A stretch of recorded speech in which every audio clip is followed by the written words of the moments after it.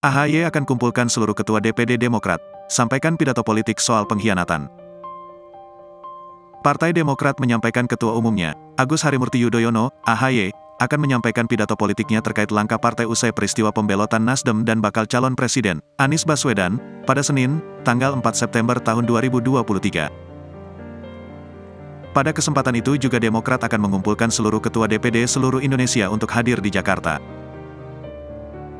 Hal ini disampaikan Ketua Badan Pembina Organisasi Keanggotaan dan Kaderisasi, BPOPKK, Partai Demokrat, Herman Haeron dalam diskusi daring polemik Trijaya, Koalisi Ngalor Ngidul, pada Sabtu, tanggal 2 September tahun 2023.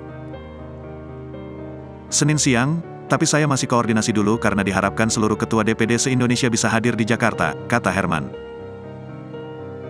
Pada pertemuan itu, hal-hal yang akan dibahas yakni utamanya untuk menyampaikan perkembangan situasi terkini, serta menjelaskan ulang kronologis mulai dari Demokrat merapat ke Nasdem dan mendukung Anies, hingga berujung dikhianati. Selain itu AHY juga akan menyampaikan langkah-langkah strategis yang diputuskan Demokrat agar tak berlarut dalam meratapi situasi sebagaimana yang terjadi kemarin.